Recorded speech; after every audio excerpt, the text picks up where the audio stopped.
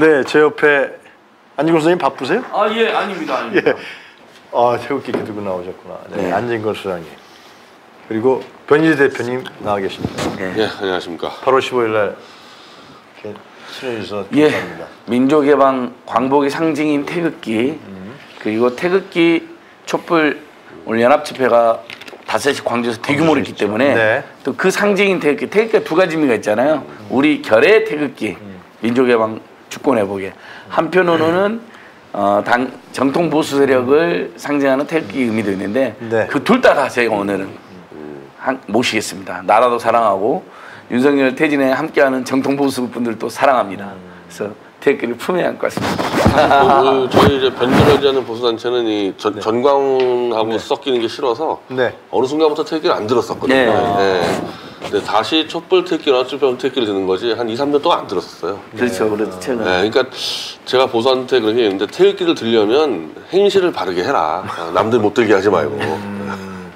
변 대표님 그 오늘 조금 전에 이제 네 여기 마이크 자꾸만 다시 아, 네, 네, 아, 여기에도 태극기가 있다고 이제 네, 아. 우리 진보 중도 보수는데 좀 전에 그 김병주 의원 인터뷰 밖에서 보셨을 텐데요. 이 해병대 네. 사, 사태 이게 어, 국- 국기문란이라고까지 얘기를 하더라고요. 지금 김병주 의원은 사성 장군 출신 아. 아닙니까? 이런 일이 없었다라는 아, 거예요. 아, 저는 저거 지금 그 박종철 고문치사 사건하고 굉장히 유사하게 그러고 있는데 아. 우리 국민들이 에, 하나 잘 모를 부분이 고문 사건을 자체를 은폐하려고 했던 게 아니고 고문은 바로 인정이 됐는데 음. 네.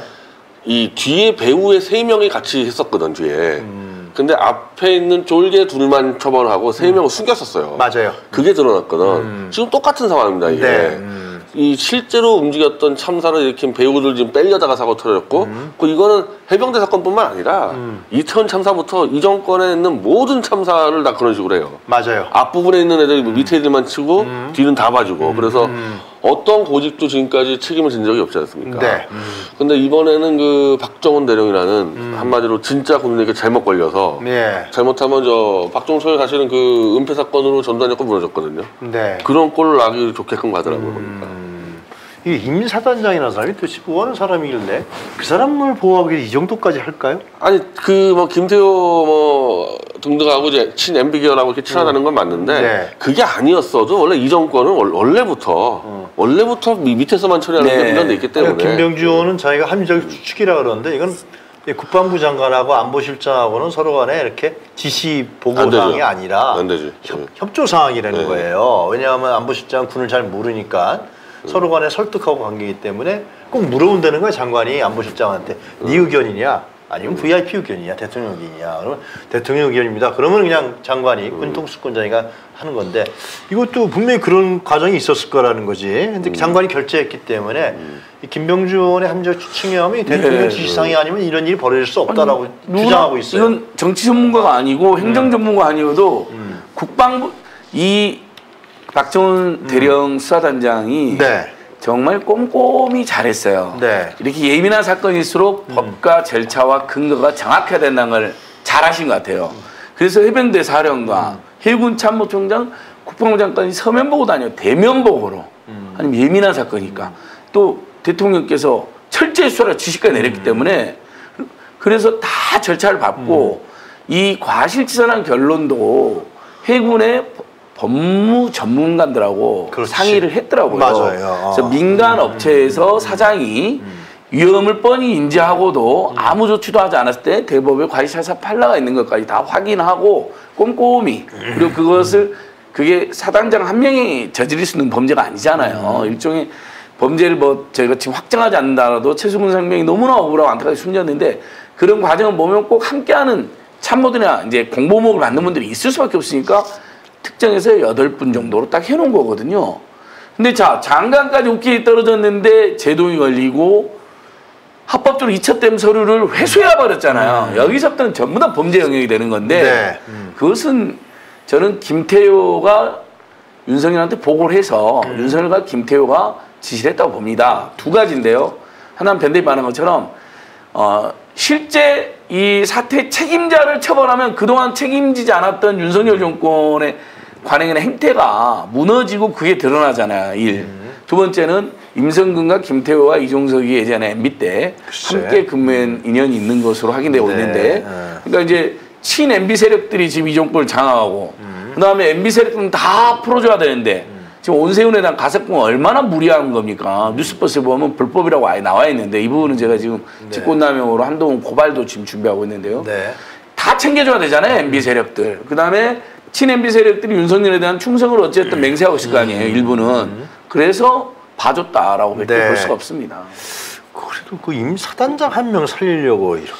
그러니까 제가 그, 그 말씀드린 게 만약에. 예. 이게 사적 관계로만 됐으면은 이게 되지 않을 거다. 이 정권 자체가 그러니까 김태호 이런 식으로 보고 있겠죠. 지금까지 다 우리는 윗선을 막아왔는데 여기서부터 윗선 뚫리면 큰일 난다. 음. 밑으로 가자. 이렇게 얘기를 했겠죠, 당연히. 그러니까 이렇게 무리하게. 그리고 자기 그 사람들은 그냥 뭐 밀어붙이면 된다 이런 판단을 하는 것 같아. 어?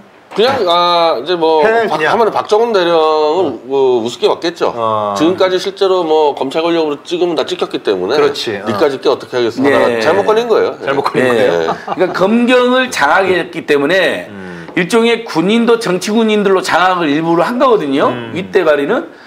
근데 중간 간부 일종의 이제 중견 간부잖아요. 대령이면 아직 장군까지는 달지 못했기 때문에. 네. 그리고 대령들은 다 장군 달려고 환장하기 때문에 음. 웬만하면 다 말 들을 줄 알았는데 음. 아직 장악되지 않은 참군이 있었던 거야. 아들이 육살 다니고 그래서 아들한테 부끄럽지 않고 음. 싶고 아들 뻘되는 어떻게 보면 최수근 상병이 숨진 거 보면서 예. 한 군인의 억울한 죽음을 밝히고 싶었다잖아요. 그러니까 100% 설득력 있는 거. 이분은 제가 보니까 뭐 취친 분이 아니에요. 그냥 참 군인이에요. 딱 보니까 태도도 기자회견 할 때도 충성 하면서 하더라고요. 그거 처음 봤어요. 그러니까 군인이에요. 그냥 군인. 무슨 형 기자회견에서 예를 들면 기자들한테 잘 보이려고 그냥 부드럽게 한 게 아니야. 그냥 군인 충성. 어. 그런 모습부터가 이분은 정말 그 초반에 진짜 참 군인이구나. 네, 우리 저 변희 대표께서 간저 87년에 박정철 고문 사건 은폐 사건과 유사하다 그랬는데요. 이게 사실상 군 내부에서도 이 문제를 군인들이 다 보고 있지 않겠습니까? 네. 예. 예, 군을 이들이 장악한다는 것이 장악하려고 하겠죠. 그런데 군이라는 집단이 과연 검찰한테 장악다는가? 라는 의구심도 이 그러니까 사건을 지금 군 검찰을 이제 장악을 하니까 음. 검찰 자체는 군 장악은 불가능한데 이제 군 검찰을 장악하고 군 수뇌부를 장악하고 음. 이런 식으로 이제 찍어 누르는데 사실은 대한민국 군이 망가질 대로 망가졌죠. 근데 법원도 마찬가지고 검사도 다 망가진 조직 아닙니까? 이거 나중에 네. 다 뜯어 고쳐야 되는데 개 중에 100명 중에 한 명씩 있는 거예요. 아. 저도 지금 태블릿 조작 사건을 7년을 재판하면서요. 한 예. 수십여 명의 검사 판사를 만나는데 네. 제가 한 명씩 만났어요. 똑바로 된 판사와 검사하고. 음. 바르게 가는 거야. 그럼, 그럼 바로 잘려요. 바로 아웃당합니다. 아. 예. 그래서 지금 박정원 대령도 그게 걸린 거죠. 아. 근데 가만 놔두겠습니까? 어떻게 하든지 그 이제, 이제 구속을 시키려고 그러겠죠. 그리고 구속을 시키려고. 체포영장 발부한다는 얘기까지 예, 이제. 그렇게 가서 이제 또 어. 찍어 누르는데 그래서 이번 건은 좀 쉽지 않을 것 같다. 음. 예, 예, 예. 감옥 요즘에 어차피 감옥 가더라도 이 편지 쓰면 되거든요. 아. 발언기가 완전 박탈되는 게 아니기 때문에 네. 예. 저도 이번 건이 고속도로 게이트 못지않은 엄청난 사건이 음. 봅니다. 이건 국민들이 감으로 분방할 수가 있어요. 예를 들면 차라리 후쿠시마 오염수 방류 같은 경우는 막 과학적 논쟁이 막 붙고 네. 그래서 막 헷갈릴 수도 있어요. 그렇죠. 아 어쨌든 막 우려되고 걱정은 되는데 그리고 이게 약간의 고도의 통치 같은 느낌 들잖아요. 막 위헌 네. 위법 행위라고 바로 이렇게 특정 짓기가 쉽지가 않은 면도 있잖아요. 네. 좀 까다로운 면이 있어요. 네. 근데 이건 고속도로 게이트나 이 박정훈 사단장님 아니 수사단장 탈압은 딱 우리 국민들이 아이 이놈들 지치금 보호하려고 음. 비호하려고 별짓 안 해라 딱 느낌 와버리는 거야. 그리고 들여다보니까 진짜 너무 황당하잖아요. 음. 그 해병대 수사 사단장 정말 최수근 상병이 숨질 수도 있는 거 알면서도 이 사람이 그 지금 그 수사단장이 네. 발표에 따르면 고의로 그런 건 아니겠지만 훌륭한 공보 활동이 한다. 예, 그 다 지금 라는 밝혀지고 거. 있잖아요. 이게 뭐 이게 실종자 수색 작전의 지시도 안 했다는 거 아니에요. 네. 그러면은 실제로 로프라든가 안전 장비를 갖고 들어갔을 텐데 그냥 뭐 버스 타고 보내서 말이지. 완전 이게 기가 막힙니다. 만약에 사병을 완전히 뭐로 한 거야. 내 자식이 내 친척이 만약에 그런 고통을 겪었다면 정말 가슴이 문드러질 거예요. 당연히 수사단 국가가 너무 수사단에서는 예. 이거는 과실치사다. 예. 이런 어떻게 지휘를 내리냐. 이렇게 해서 이걸 올린 거 같고 이걸 뒤집어서 말이야. 항명 수기. 예. 그것도 그냥 항명 수계가 아닙니다, 여러분. 집단 항명 수계니까 수사단 전체를 음. 일종의 맞아요. 쿠데타 세력처럼 보는 거예요. 그리고 그들을 피, 피울인내 나는 수청을 하려다가 음. 지금 국민들이 이거 가만 안 들고 일어나는 건데 이 정도의 사단이 날 걸 예상할 수 있는 사안이에요. 이 사안은요. 왜냐하면 이첩가에 대한 소리를 뺏어오는 건데 언론 보도가 안 나겠어요? 그래서 저는 이건 김태호가 혼자 할 수가 없다. 음. 이종섭은 지가 결정기 때문에 안 나서고 있잖아요. 김태호가 윤석열한테 보고해서 함께하는 겁니다. 이것은요. 절대 책임자를 어 정말 최고 책임자를 자르면 안 된다. 왜? 그러면 이태원 참사의 책임자인 김광호와 윤희근과 오세훈이는 전혀 손대하지 않는 게또 부각이 될 거고 그 다음에 오송 책임자 참사 지금 김영환이나 이런 사람 절대 손 안 대고 있잖아요. 고속도로 위에 책임자 일차적으로는 근본적으로는 윤석열, 김건희 일가지만 일차적으로 온희룡인데 온희룡한테 오히려 힘 실어 줬잖아요. 네. 이 기조랑 어긋나거든요. 그러니까 사단장 딱 알겠습니다. 비유하는 거죠. 자, 이 얘기는 이 정도로 하고요. 그 어떻게 이 사태가 진전되는지 좀더 지켜보기로 하고요. 잼버리에 대해 좀 얘기할까요? 좀 총평 좀 해주십시오. 아 그냥 이 총평보다는요 제가 마지막에 사실 예. 제가 이 TV를 잘 안 보는데 예. 우연히 외부에서 전역하다가 K-팝 공연을 한 30분을 봤는데 어, 그래요. 어. 야, 나 무슨 공연이면 저런 게 다 있냐. 그러니까 무슨 어쨌든 국가적인 행사하고 글로벌 행사면은 이 한국에서 유치한다면 무슨 공연할 때 한국적 테마가 연결돼야 되는데 그렇지. 그냥 군사작전 하듯이 K-팝 댄서가 계속 투입되는 거예요. 설명도 없어요, MC가. 설명도 없어. 계속 투입만. 야, 그러니까 프랑스 언론에서 이거 뭐 하는 거야? 한국은 도대체 K-팝이 무슨 국유화됐냐. 마지막까지 국제 망신 나가고 끝나는구나, 이게. 어. 그리고 실제로 이 유럽 같은 경우도 민감한데 남의 나라 가수를 이제 자기를 청소년을 좋아할 때 정치적으로 굉장히 순수해야 되거든요. 그렇죠. 근데 이 문화를 만약에 무기화를 한다 자국의 이익으로 그거 바로 제동 걸립니다. K-팝 구제 들어갈 수 있어요. 근데 이번에 그게 완천하에 들어갔어. 어, 이 K-팝이라는 것은 자연스러운 이 한국의 문화가 아니라 국가가 뒤에서 움직이는 하나의 마치 자원을 무기하듯이 저 오펙이 한국이 문화를 무기화한다. 예전에 미국이 할리우드 무기화하는 거랑 비슷하게 이렇게 되면 그냥 팍 경계되거든요. 그걸 다 드러내 버렸고 실제로 K-팝 동원하는 과정에서 뭐 그쪽 기획사들 압수수색 들어가고 뭐 세금 세무조사 들어가니 협박하고 그러니까 이 연예 기획사들이 K-팝 가수뿐 아니라 돈 갖다 바치고 막 이런 걸다 드러나지 않았습니까? 네. 국격을 마지막까지 무너뜨린 거죠. 근데 그걸 정반대로 윤석열은 마지막에 K-팝으로 마치 국격을 살린 것처럼 중요한 말씀을 지금 하신 것 같아요. 그러니까 K-팝이라는 한류가 국유화돼 버리고 그거 윤석열 자기가 만든 게 아니잖아요. 그리고 그거 그 자생적으로 자생적으로 한 몇십 년 동안 가까운 건데 그걸 한 방에 끝낼 수도 있는 상황이 된 거죠. 이거. 그걸 국가화 시켜버렸기 때문에 징발화 시킨 거 아니에요? 징발, 징발한 거지. 네. 그러니까 그 예를 그- 들면요, 그 중국이 그 홍콩하고 합치면서 홍콩의 영화 산업이 굉장히 발달됐거든요. 그렇죠. 어. 그래서 거기다가 중국의 인구와 자본이 들어가면 세계에 쓸 쓸어버릴 줄 알았는데 어. 왜안 되냐? 중국이 자꾸 영화를 자꾸 저기 무기화하니까 못 들어가거든요. 지금 한국이 지금 그런 꼴 나고 있는 거죠. 예. 이 K-팝 그래서 한류가 주- 예. 이렇게 되면은 우리 자발적으로 자생적으로 굉장히 창조적으로 성장했던 우리의 문화가 이게 외국에서 봤을 때 이게 뭐야? 하면서 이 한류까지도 망가뜨리는 이런 결과가 맞아요. 나왔다라는 말씀이에요. 저도 결과적으로 K-팝에 굉장히 데미지를 입혔다고 생각합니다. 네. 그러니까 완전히 아주 창의적이고 발랄하면서 글쎄 말이에요. 어. 와 이런 음. 어, 어떤 군무가 있고 이런 노래가 있고 이런 문화가 있구나 하면서 전 세계를 열광한 건데 네. 아까 이제 밴 대표님 중국 영화 있는데 실제 음. 중국 자본이 들어간 영화 보시면요 재미 하나도 없습니다. 다 중국풍으로 끝나버려요. 맞아요. 중국 그러니까 맞아요. 너무 부자연스럽고 옛날 홍콩 영화 영웅본색 중국 자본 설명 안 들었더라 홍콩 자본으로 만들어도 얼마나 멋있습니까? 딱뭐 그게 중국풍 없이 그냥 조직 건달들의 의리 같은 걸 다루니까 그게 설령 과장됐다 하더라도 음. 설득력을 가지는 거예요. 그게 설령 불법 지하 느와르의 세계를 다뤘다 하더라도 근데 그런 것처럼 아니 케이팝이라는 게 정말 위대한 그 어떻게 보면 전 세계 대중음악 문화를 예. 잘 잡았는데 예. 굉장히 이번에는 잼버리를 땜빵하는 식으로 등장했고 그것도 국가가 정말 동원했고 그리고 그걸로 윤석열이라든지 잘못된 정치인들이 차량까지 한다. 그럼 전 세계 시민들이 바보들이 아니잖아요. 이미 SNS에서 한, 잼버리가 한국 잼버리가 완전히 조랑과 풍자 대상이 됐는데 마지막까지 당연히 거의 참가한 청소년들이 일부 이론은 됐을 겁니다. 보고 싶은 팬 보니까 싫어하는 사람 어디 있겠어요. 하지만 금들도 여행하는 잼버리라는 그 보이스커 사무총장의 풍자했던 것처럼 아유 마지막에 내가 좋아하는 팬 봐서 좋긴 하지만 이번 잼버리는 엉망이야 폭망이야 라는 음. 아니, 그러니까 기억을 감출 수 그거보다도 없겠 이제 지울 그수 없겠죠. 안 대표, 아, 저, 변인 대표님 말씀에 우리 페이퍼 한류의 국지 글로벌 위상이 추락됐다. 추락하고 그리고 이게 중요한 거지. 그 아티스트 같은 경우는 국가 주도하는 행사는 거부하는 일이 굉장히 흔해요. 맞아요. 근데 이번에 완전히 그 군사 작전 펼치는데 케이팝 스타 중에 누구 하나라도 야 이거 잘못된 거다 나 안 가겠다 얘기하는 사람 한 명도 없었다. 그러면 이건 케이팝은 그냥 산업에서 찍어낸 상품과 똑같다는 거고 예. 실제로 그 카카오라든지 CJ라든지 대자본이 들어갔기 때문에 음. 아티스트의 자율성이 없는 거거든요. 그러니까 이런 것도 다 드러나 버린 거죠 이게. 아, 그러니까 이제 알겠습니다. 대중문화라는 것도 철학이 있어야 되잖아요. 밥 딜런 같은 우리가 예를 들 수도 있고 나훈아 선생님 얘도 이건희가 자기 칠순 생일 때 네. 3천만 원 그러니까 노래라 그러니까 예.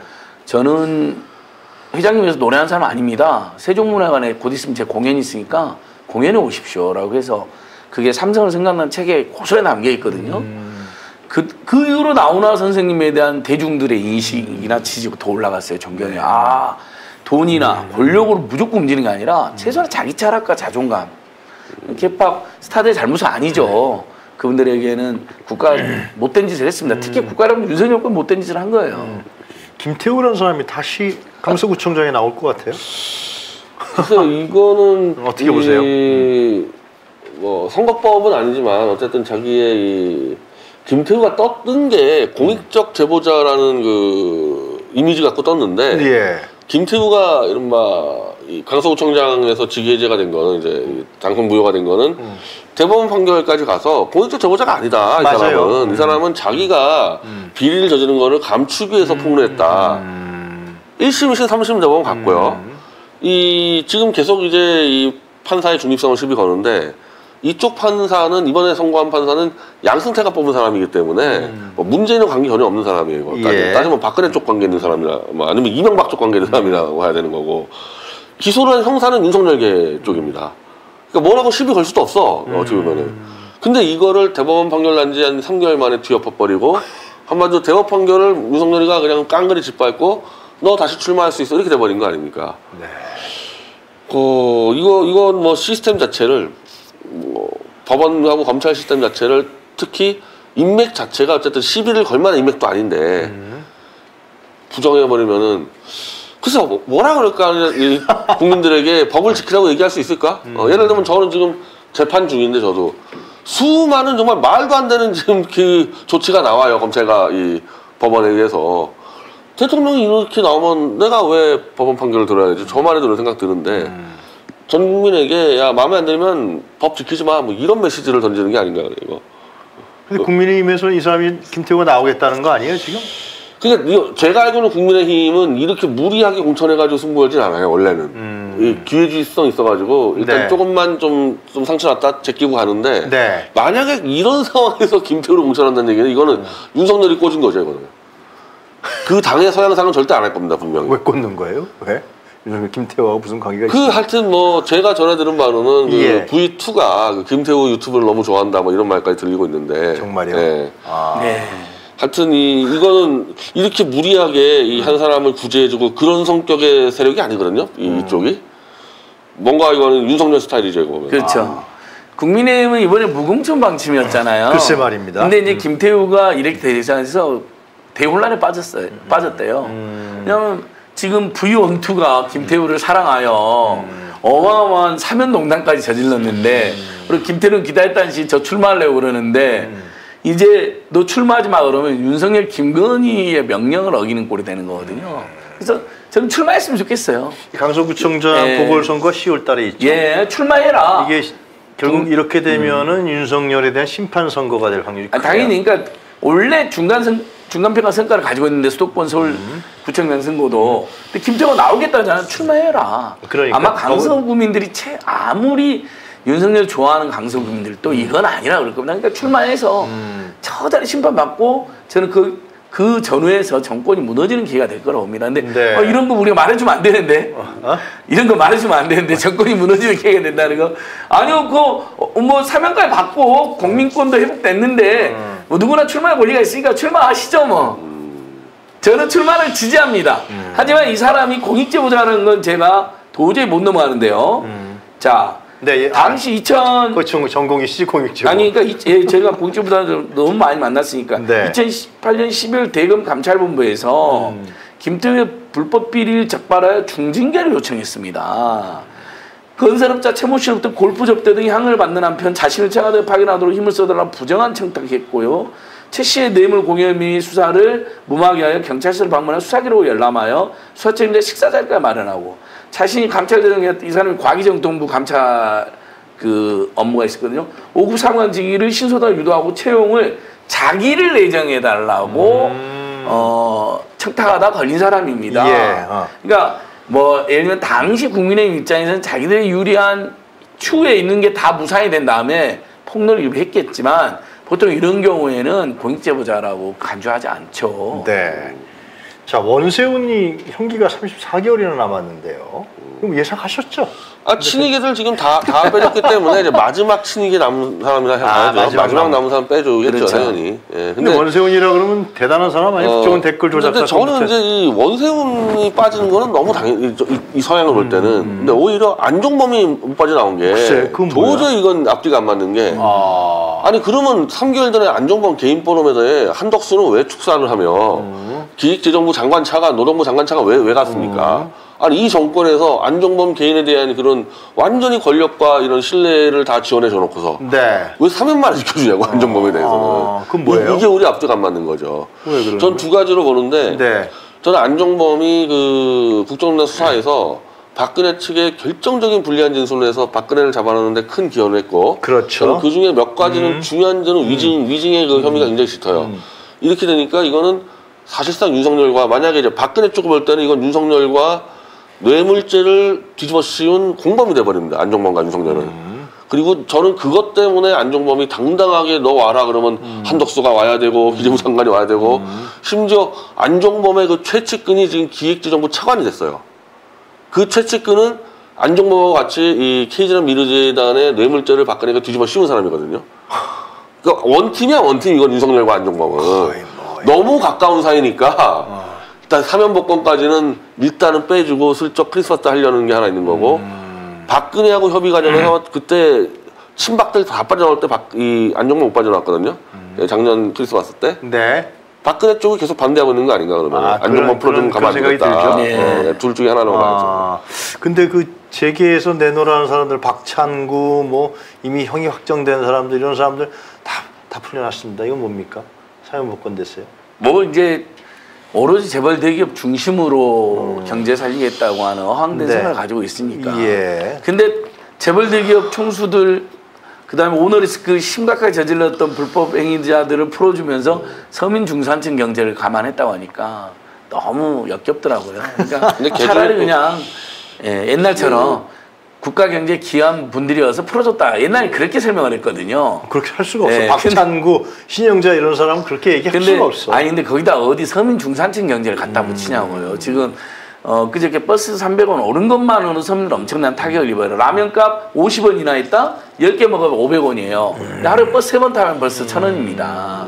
1000원이 더 인상됐어요. 근데 네. 여기다가 서민 중산층 이야기를 하지를 말아야죠. 예. 어. 저는 사실은 지금 윤석열하고 한동훈은 사면권을 제한시켰어야 된다고 보는 게 이 중에 지금 상당수는 자기들이 잡아놓은 사람들입니다. 그렇죠. 그게 자기들이 잡아놓고 자기들이 빼준다는 원칙이 안 맞는 거죠. 이거는 그 처음부터 사실은 윤석열 한동훈은 사면권을 내려놨어야 돼요. 그리고 이렇게 이거 한번 생각해보는 게 정말 수십 명의 검찰 인력 투입하고 돈으로 따지면 거의 수백억 들어갔습니다. 이 사람 잡아놓은 데서. 그렇지. 그래가지고 막 10년, 20년씩 막 다 때렸어. 맞아요. 근데 막 2년, 3년 만에 풀어줘. 수사를 똑바로 했겠냐, 그럼. 정말 자기들이 공들여 수사해가지고 비리 재벌, 그리고 좀 비리 정치를 잡아놨으면 풀어줄 수 있겠냐는 겁니다. 돈 받고 권력에 그 따라서 대충 대충 잡아는 거예요. 그러니까 대충 대충 풀어주는 겁니다, 이거는. 풀려날 때는 푸- 풀어줄 때는 뭐 어떤 뭐 이, 이해관계가 있으니까 풀어줬을 거 아니에요? 이렇게 특정해서 이 일단 지금은 MB계들의 요건데 음. 자기들이 잡아낼 때부터 잡아낼 때부터 대충 잡아놨으니까 음, 풀어줄 때도 좀, 좀 미안한 생각 들겠죠. 그게 풀어주는 거지. 아니, 완벽한 범죄 잡아서 잡아놨으면 어떻게 풀어줍니까, 그거를. 다 반대해야지. 아, 참. 근데 이번에 음. 원세훈이 가석방 내는 과정은 원래 가석방 대상이 될 수가 없잖아요. 먼저 감형을 해줬어요 저번에요. 맞아요. 예. 근데 그때 가석방 안 해줬느냐 MB를 다 풀어줬는데 어. 이명박계가 강력히 요구했을 거 말이에요. 이명박 앞잡이다가 뭐 징역을 여러 번 살고 그- 있으니까. 아. 근데 그때 그때 그 형이 선고된 지가 마지막 불법에 대해서 형이 선고된 1년도 안 돼가지고 검찰 수사팀에서도 반대가 있었다는 거예요. 윤석열 한동훈 당신도 어떻게 이럴 수가 있냐.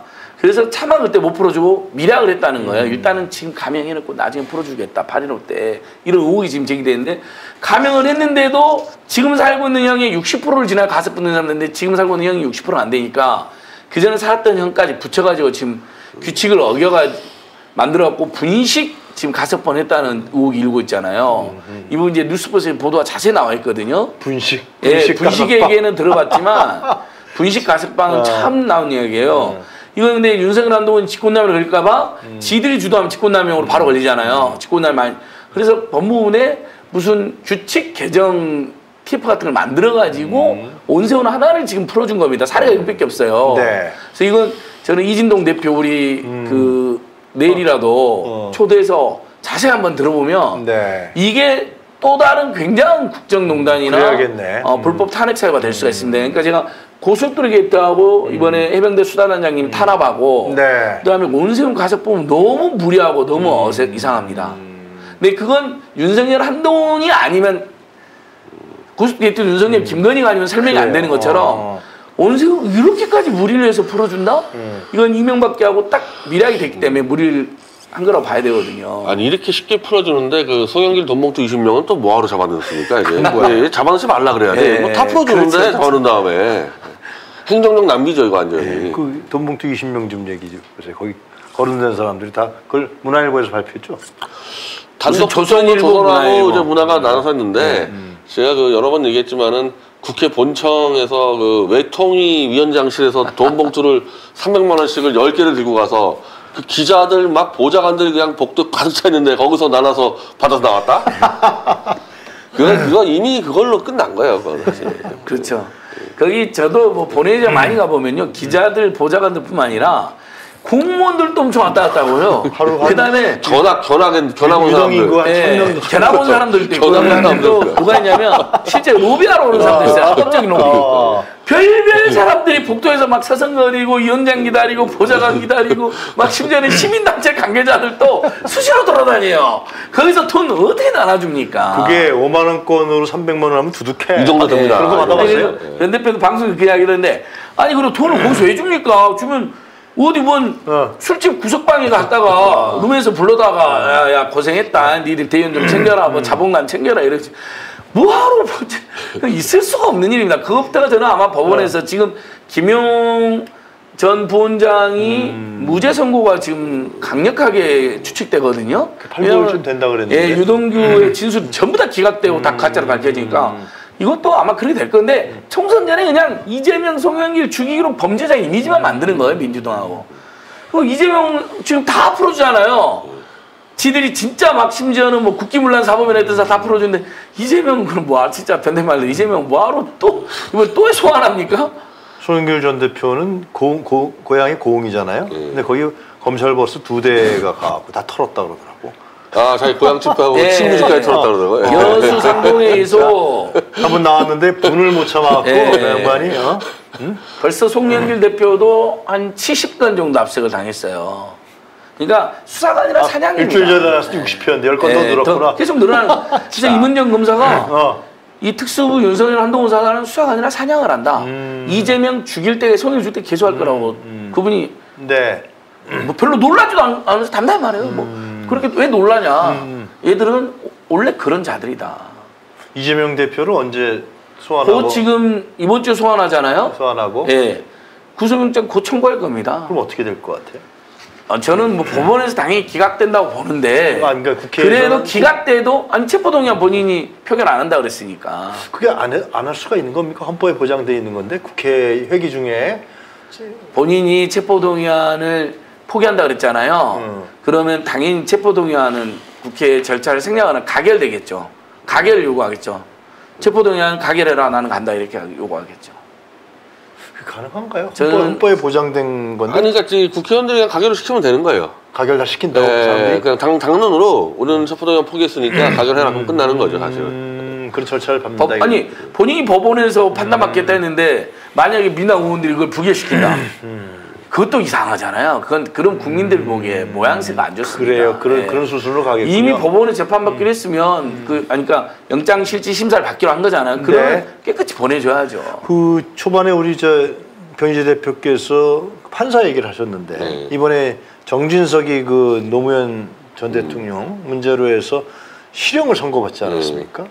그러니까 이걸 조선일보와 국민의힘에서 쌩 난리를 또 칩니다.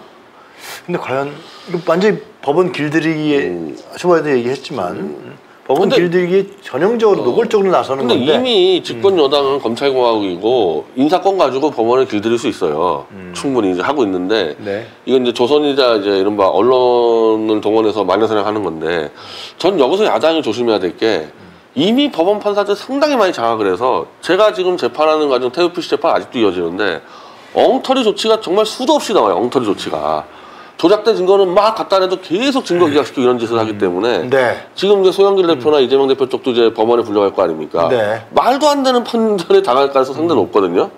근데 이거 이거를 절대 이 법원 독립성 어쩌고 저쩌고 막아줄 필요 없습니다 야당에서는.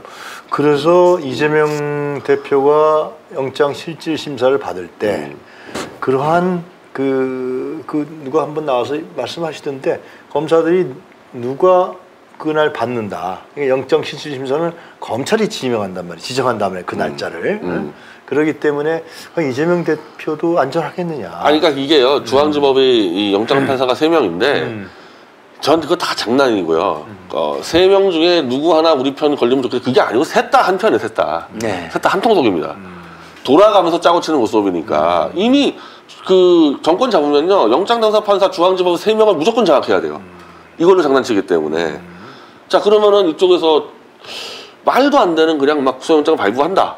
돈봉투 사람들 발부한다. 그럴 때 법원을 쳐야 되기 때문에 이 사람들이 지금 판사나 길들이는 거는 그냥 전격버리고 실제로 정말 판사 제대로 잡아가지고 칠 상황이 벌어질 겁니다. 아마 조만간에. 아니 근데 이재명 대표가 영장 실질 심사를 받을 때 진짜 제대로 받겠느냐 공정하게. 안 되죠. 그러면 구속되는 거. 아니 그래서 저는 그 위험하게 보는 게 예. 정상적인 심리가 아닐 거라고요 분명히. 예. 그러니까 제가 아까 구속영장 기각된다는 것은 이성적으로 그래야 된다는 건 제리야당 대표가 도망을 가겠습니까? 지금 압수액을 300번 넘게 됐는데 예. 증거 인멸할 게 뭐가 있습니까? 그다음에 심지어 김용, 정진상까지 다 재판받고 있는 상황인데 네. 아 제가 지금 확인해 보니까 음. 원래 체포 동의안 헌법적 권리 때문에 회기 중이면 표결해야 됩니다. 당연하죠. 근데 여야가 회기를 일시로 중단하는 전례가 있대요. 본인이 체포동의안 표결을 하지 말라고 요청해가지고 어떤 의원이 그러면 여야가 회기를 중단해요. 임시적으로. 그러면 체, 회기가 아니죠. 그러니까 체포동의안 동의 제출되면 체포동의안 제출 없이 바로 글쎄 영장 말이야. 실질을 아 그게 이제 그 권성동 예, 사례인데 권성동 이게 사례가 그. 임시국회 때는 그런데 정기국회 때는 중단이 안 돼. 그러니까 그렇지. 8월에 치면은 그게 되는데 9월에 치면 정기국회 중단이 안 돼가지고 표결해야 될 겁니다. 마지막 그렇죠. 예 마지막으로 그래서 그 8월에 친다는 이야기도 있습니다. 이걸 에피소드로 봐야 되는지 계속 주장했기 때문에 심평 변호사가 신당 창단서를 계속 얘기하고 있는데 이 변, 아변 저는 저거 저- 지금 오늘? 강신업 발로 틀었는데 예. 이 강신업을 저 강승규 주민사회수석이 지인을 통해서 주저앉히려는 이 녹취가 KBS 터졌는데 맞아요. 그 강신업이 KBS에 보- 정보 준 거거든요. 예. 그걸 지금 터뜨리고 있잖아요. 음. 심평도 마찬가지고 강신업도 마찬가지고 이명박계한테 지금 밟히고 있어요 이 사람들이. 아, 실제로 강승규도 이명박계고 아 저 저 저 강승규가 그래서 강승 강승규가 유명한 이명박에서 그냥. 강신업 주저앉혀 버리지 않았습니까? 음. 심평도 마찬가지이기 때문에 지금 이 사람들의 도발은 이명박계가 독주하잖아요. 음. 이범 김건희계와 이 범 검찰계가 음. 이 심평과 강신업 연합해서 한번 이명박계 독주를 한번 제동을 걸려고 음. 붙어보는 거라고 봐요. 예. 한마디로 공천 싸움, 밥그릇 싸움 하고 있는 거죠. 창당할 그거는 현실적으로 불가능한데. 그러니까 이명박, 너- 그러니까 이명박한테 다 해먹으니까 아, 너희들 우리 검찰 쪽, 그 심평도 검찰 라인이란 말이야. 아 그렇지. 너희 우리 검찰이나 윤석열 안 챙겨주면 우리 신당 창당할 수 있어 이렇게 협박을 했는데 이명박계가 아이고 감사합니다. 나, 가주세요. 고맙죠. 이런, 이런 태도 보이는 거거든 지금. 그 강신업 노출호에 보면은 강승규가 네. 야 이렇게 되면 김건희 여사한테 누가 되는 거 아니냐 뭐 이런 식으로 얘기를 하더라고. 그거 뭐 김건희 여사 뭐 윤석열 누 어쩌고저쩌 하면서 그냥 강신업이 터트려 버린 거죠 네, 이제 결국은 공천 전쟁이 시작된 거예요 이게. 총선을 윤석열 얼굴로 치러야 되는데 김건희 자꾸 떠오르면 자기들 또 손에는 이런 지적 이런 지도 있잖아요. 예. 그래서 그때 강신업 후보로 나왔을 때 변희 대표님과 제가 여기서 했던 지적이 맞았어요. 분명히 김건희가 강신을 밀어서 뜰 거다 예, 그랬잖아. 아니 떴어요. 네. 진짜 떴- 떴어요. 5% 5% 나왔다니까 5% 떴어요. 5% 그러게 나온 다음 날 녹취 아니 무음도 아니. 근데 그때 저희가 어. 그럼 만약에 이게 근데 그 강신업에 대한 어. 공격이 있을 때 어. 어, 여권 내에서 예. 권력 투쟁이 있구나. 예. 김건희를 주저앉히려고 하는 세력들 음. 또는 김건희를 견제하는 세력들이 강신업에 대한 견제를 하는 것 같다고 했고 음. 결국 사퇴했잖아요.